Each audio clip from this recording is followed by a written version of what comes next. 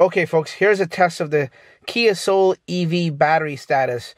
This car's been sitting, we were uh, out of the country on vacation for just over a week, exactly eight days now. Uh, I've parked this car in an unheated garage, and um, when I parked it, we had 68% left. I didn't want to leave it with too little or too much, so I'm somewhere in the middle, 68% left of the battery.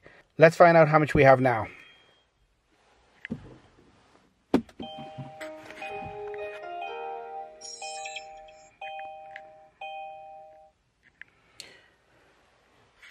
Look at that.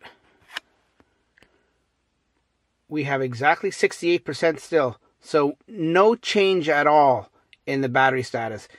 It sat for exactly 8 days and just over 8 days actually. It sat for just over 8 days and no change in battery.